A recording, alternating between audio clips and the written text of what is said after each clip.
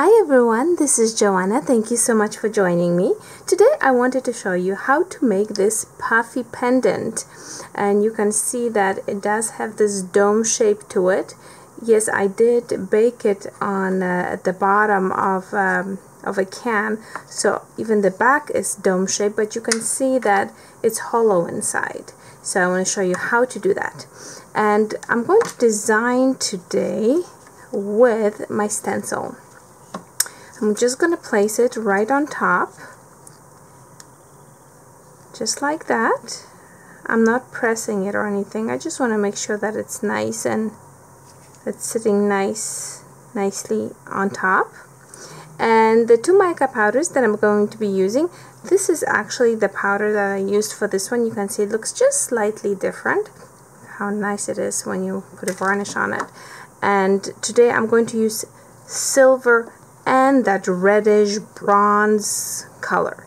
So, I place my stencil on top and now it's time to start applying the mica powder. And there are so many different colors that you can get of mica powders. Just so many. Different combinations that you can come up with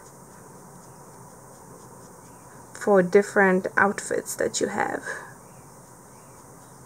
So we're going to have this one. We'll have half of it is going to be silver, the other half is going to be reddish.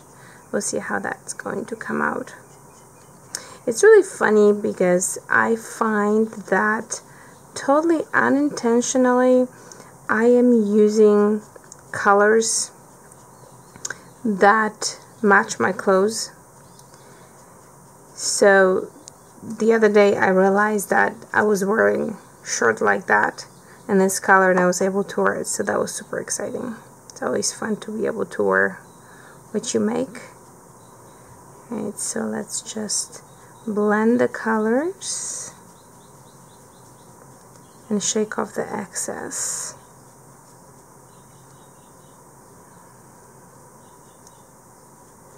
Just a little bit more. I love pulling the the stencil off because it's just it looks so beautiful. It just looks so so pretty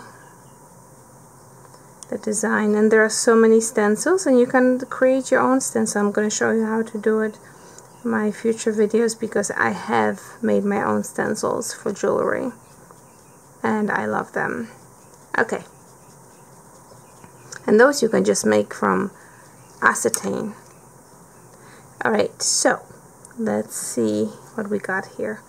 This is the size that I'm going to be going after. So yeah, that's good. Hmm. Ta-ta! Isn't it gorgeous? It is so pretty. Let me just blow it off. Off the excess. Oh my gosh, this is so nice. Alright, so let me see. I want some silver and I want some red. So you're going to take it your cutter the sharp end on top and you're going to place your clay on top.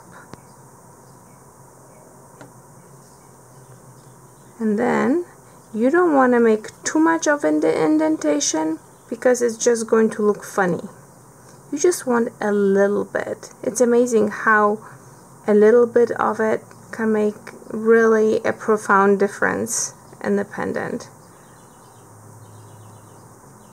Okay, so we're just gonna stretch it just a little bit, make sure that the ends are tight.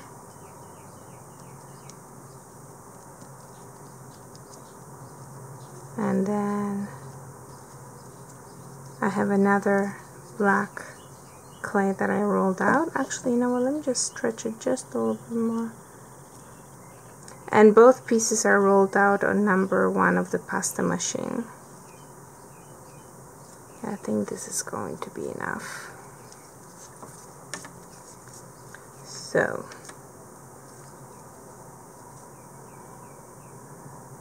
I'm going to place it right there on top cut. I'm not gonna move yet but you can see it when you when I cut it I don't know if you can see that it puffed up even more. Now I want to decide where how I'm going to wear it because I want to punch out another another hole with it. This one. So do I want the colors at an angle? Do I want the silver on top and the red at the bottom?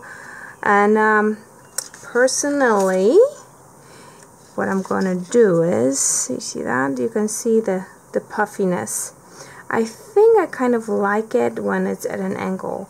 So I'm going to punch my hole right there. Right there. Let me see if I can do it. Oops sorry about that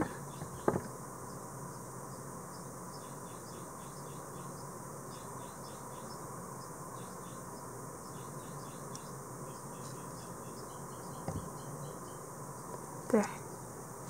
And when you do that the whole pendant puffs up even more. So I'm going to take the clay off. Going to take that out.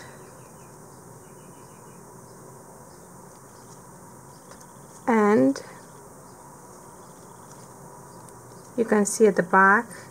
Actually I can do that right now. This is just black. Shall I just leave it black? I could put some mica powder on it but you know what? I'm just gonna leave it as is. Or shall I do that? I don't know. I have not decided. You could put mica powder in the back just to make it prettier. Let me see if I can pop it out without destroying it too much